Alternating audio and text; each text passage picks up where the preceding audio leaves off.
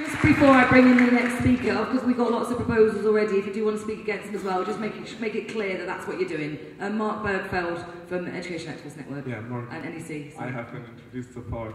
Um, I think what we, should, what we need to be going back to is the 10th of November, the UCU NUS demonstration, because we're very well aware of the fact that without NU, NUS pushing for the national demonstration, without UCU pushing for the national demonstration, we wouldn't have gotten 50,000 people into the streets.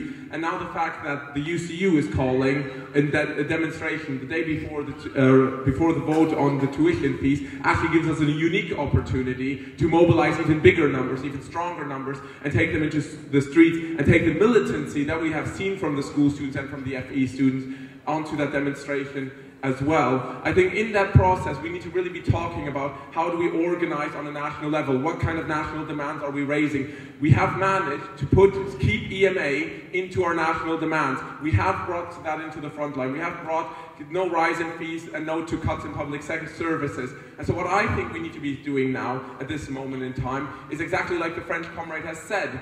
We can't stop production. 4,000 students can block a highway. You know, 4,000 workers can bring the country to a halt. And I think we need to be taking that inspiration that millions of people feel across the country. We need to be taking to workplaces up and down the country. Because what the students have done is inspired millions of people. And we need to continue to do that. And so on the Sunday, the 5th of uh, December, there's another day of action. The third day of action is being called. And I think we should turn that into a real big, lively demonstration on the day it's on the Sunday the 5th of December as well and make sure that the day of the vote becomes a huge focus for us for our movement as well.